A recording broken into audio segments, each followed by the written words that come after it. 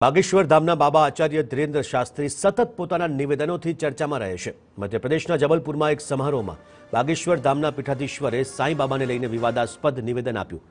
ધીરેન્દ્ર શાસ્ત્રીએ સાંઈ બાબાને ભગવાન માનવાથી ઇનકાર કર્યો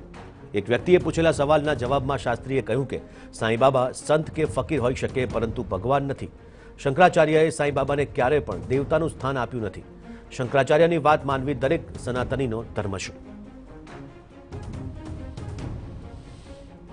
બાગેશ્વર ધામના બાબાના નિવેદન બાદ મહારાષ્ટ્રમાં રાજનીતિ પણ શરૂ થઈ ગઈ છે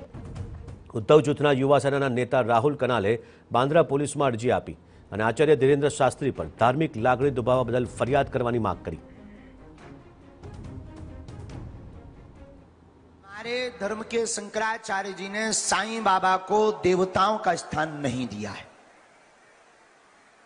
और शंकराचार्य की बात मानना प्रत्येक सनातनी का धर्म है क्योंकि वो अपने धर्म के प्रधानमंत्री हैं।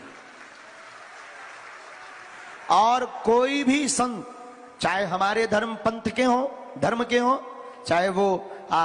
गोस्वामी तुलसीदास जी हो या सूरदास जी, संत हैं, महापुरुष हैं, युग पुरुष हैं,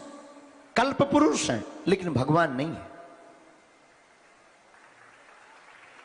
तो अपनी निजी आस्थाओं पर हम बोलने, आप, लोगों की अपनी अपनी निजी आस्थाएँ किसी की आस्था को हम ठेस नहीं पहुँचा सकते और इतना कह सकते साईं बाबा संत हो सकते हैं